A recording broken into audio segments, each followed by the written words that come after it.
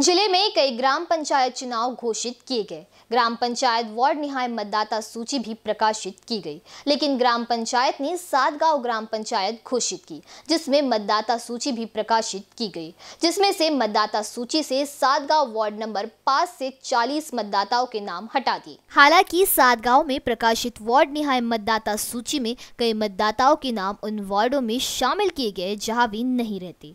जिससे पता चलता है की मतदाता सूची में भ्रम है। भीम पैंथर के हिंगना विधानसभा अध्यक्ष नंदेश वाघमारे ने मतदाता सूची में गड़बड़ी को सुधारने के लिए लिखित निर्देश दिए थे।